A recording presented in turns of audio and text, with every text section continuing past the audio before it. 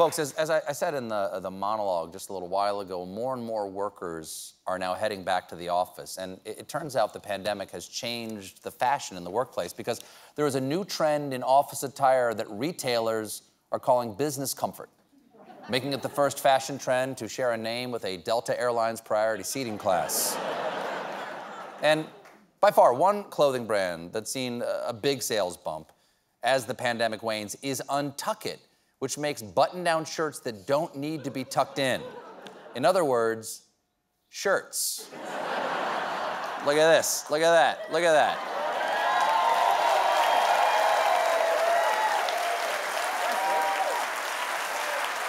We have we have the technology. All right. But oh, my belt buckle is very cold. But they take their untucking innovations very seriously over at Untuckit. J just take a look at their ads. The best ideas come from solving common problems. My problem, like a lot of other men, I couldn't find a shirt that looked good untucked.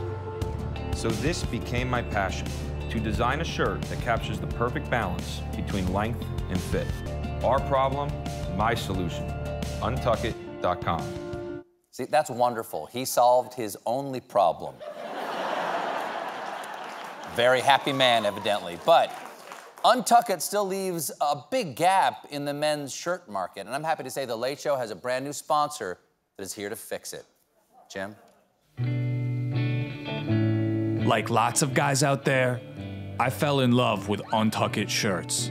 But there's one big problem. You just can't tuck them in. Parts of shirts stay outside, blocking access to the pocket.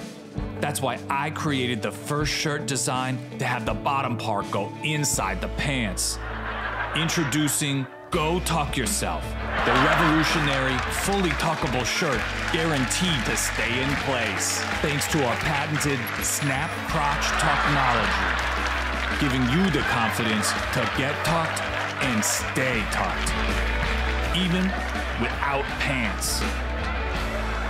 It's designed for all guys, all occasions, whether you're at the office, on a romantic date, or just on the go. We've got you covered from head to taint. Go tuck yourself. I'll tuck anything that moves.